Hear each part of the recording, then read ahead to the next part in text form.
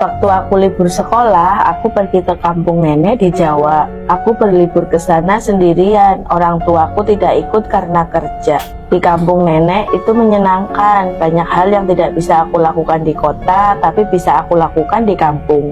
Aku di sana main di kali, di sawah, main permainan ramai-ramai sama teman. Suatu sore, aku dan teman-teman sedang asik jalan-jalan di kampung, melihat ada pohon mangga dengan buah yang lebat di tengah pekarangan. Aku dan teman-temanku mencoba naik, memetik mangga dan bermain di atas pohon sampai petang. Saat azan maghrib berkumandang, lekas aku dan teman-temanku pulang ke rumah. Keesokan harinya, aku sakit demam tinggi. Tapi aneh guys, saat suhuku diperiksa dengan termometer, meter, suhuku normal. Karena aku mengeluh kesakitan oleh nenek, aku dibawa ke puskesmas. Dan saat diperiksa ada kejadian yang aneh juga. Lanjutannya di part 2 ya guys.